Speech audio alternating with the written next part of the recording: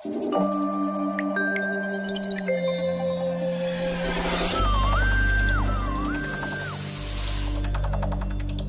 kijkers, goedendag. Ja, we kunnen nog zo'n twee dagen gaan profiteren van schitterend lenteweer met volop ruimte voor de zon en hoge temperaturen.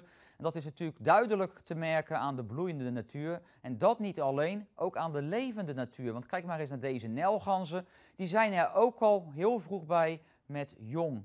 Ik ga u meenemen naar de komende nacht. En die verloopt helder in het Rijnmondgebied. Er kan wel een mistbank ontstaan, dat wel. Maar voor de rest dus geen bewolking. Temperaturen landinwaarts ongeveer een graad of 2 met kans op voorstaande grond. En de wind neemt af tot zwak of matig en komt uit het oosten tot noordoosten.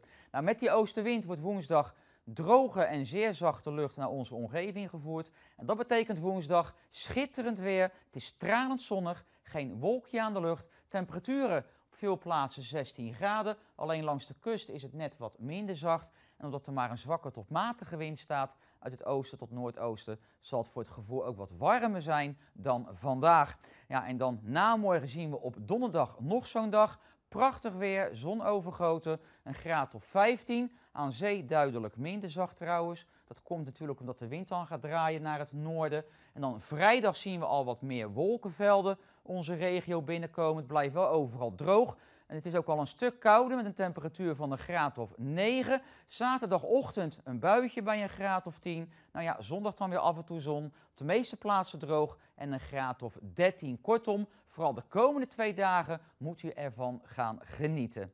Nou, ten slotte nog deze fraaie weerfoto uit Zuid-Beierland met de vlinders. Nou, maakt u ook fraaie foto's van het weer of de levende natuur? Dan kunt u ze insturen naar weerfoto.rijmond.nl. Geniet van het mooie weer en heel graag tot morgen.